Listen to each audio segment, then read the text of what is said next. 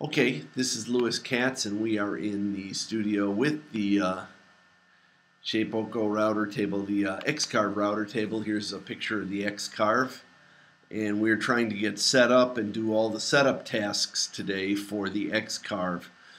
Uh, in order to get things going, you have to turn on the X-Carve. On the back side of the X-Carve, there's a place for a USB cable that plugs into your computer should already be plugged into the X-Carve power supply box.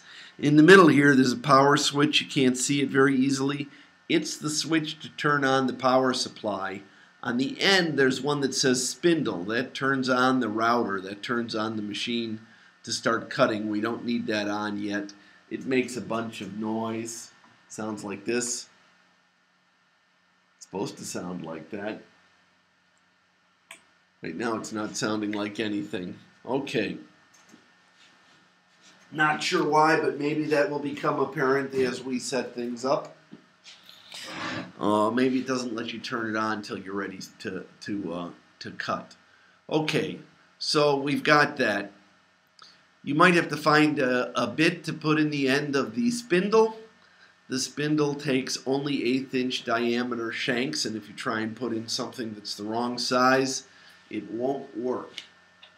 And you'll ruin the spindle. Um, the um, the chuck in there is not a regular chuck. It only takes one size diameter bit. And we have bits, so there shouldn't be a problem with that. Here's two wrenches on there. If you want to change them, it takes two wrenches. You don't have to crank it down till it's really, really, really tight. Uh, if you do, then you're doing something wrong and you'll ruin it. So please don't do that. Okay, so you get your machine so it'll work. You get Inventables up and you get easel.inventables.com up. And if you haven't run it before, it's going to want you to run a uh, install a piece of software that allows you to communicate with the Arduino controller that makes this whole thing go. The machine that we have you want to set it up. You see here it's set to 31 inches by 31 inches. That's the maximum size it will cut. This machine is an X-Carve. We also have a Shapeoko. You can enter the size of your bit up there. Here it says setup machine. Okay, so the machine type that we have is an X-Carve. I also have a Shapeoko. The rail size is a thousand millimeters, which is a meter by a meter. Yeah.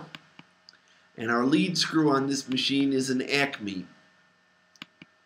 The spindle is a 24 volt spindle. We want to confirm the settings. It says plug your machine in. You should hear all the uh, motors go kathunk at some point. There it is. So now you want to test the wiring. And uh, if you're facing from the front of the machine, you're facing the spindle, the X this way moves to the right and this one moves to the left. You want to make sure you don't run it into the end. It's working correctly, so I'm going to press yes. This one moves back towards away from you. This one moves towards you. That's working. The Z, this is up, and this is down. They all work right, and they should press continue. If they don't, we need some help from me. Uh, I use manual spindle control.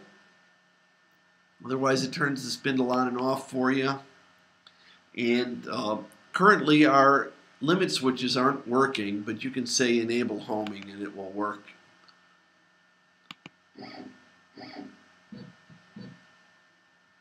Gets goofed up. I have no idea what the problem is.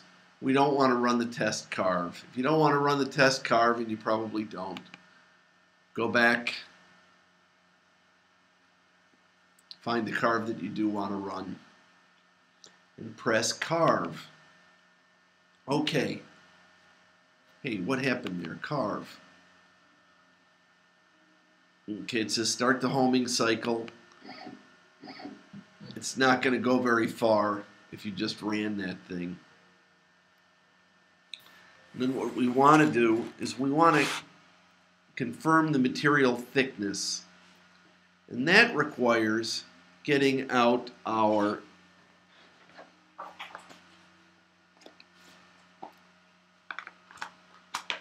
micrometers. And if you remember from our thing, the micrometers can only be stored in their case. Please do not put the micrometers anywhere but in the case or in your hands. And then to tell the material thickness, uh-oh, I don't have any material here. You set your material down, you get it all clamped down and stuff, and then you use this little thing at the end of the micrometer and it'll stick out, and then it'll tell you the thickness. There it is, 0.339 inches. If it's not coming out in inches, you want it millimeters, press there. If it doesn't read right, you want to make sure it says zero there. If it's not zeroed, close it all the way and press the zero function. When you get done with it, turn it off, put it back in the case, right? Okay. Cool. Treat the tools right, and they'll try and treat you right. Okay, so you can confirm the material thickness. And if you've got your material glued down on a spacer, and it's a half of an inch, the spacer is another half of an inch, well then if you say 0.06 inches, it won't cut into the table. So you want to make sure you got that all worked out nice and clear. You confirm the material thickness, clamp down the material, you say the material is secure, you tell them what bit you're using. Okay, and you confirm the bit size. Then you lower the bit down to the surface of your material.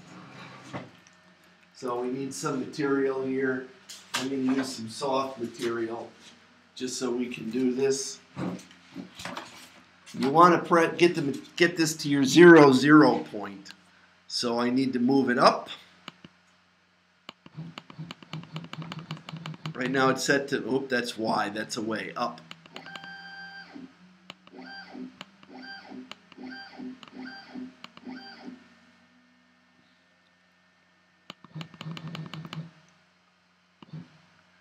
Okay, right now it's set to a tenth of an inch. I want it to move an inch at a time because I need to move a long ways. So let me get this up and running and then we can move the machine towards us. I think this will work. Maybe it'll it'll disappear. Oh well, too bad.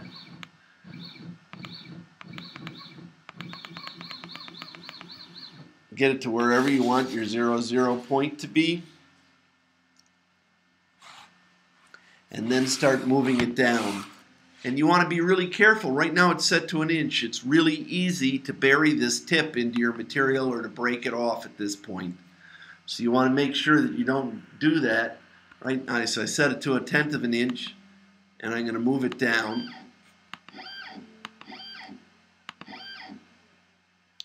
Okay, and then I can set it to 0.01 inch, and I'm really close here. And when I get a little bit close, when I get right where I need to be, I can set it to a hundredth of an inch or a thousandth of an inch and move it down. And what I want to do is I want to be able to slip a piece of paper out from underneath there, but I want it to be kind of snug. So I confirm my home position.